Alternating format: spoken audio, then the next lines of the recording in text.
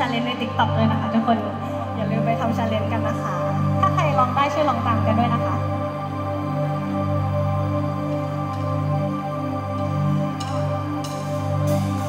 รือเปล่าเวลาที่เธอไม่อยู่กับฉันอาจนอกใจบ้างหรือเปล่า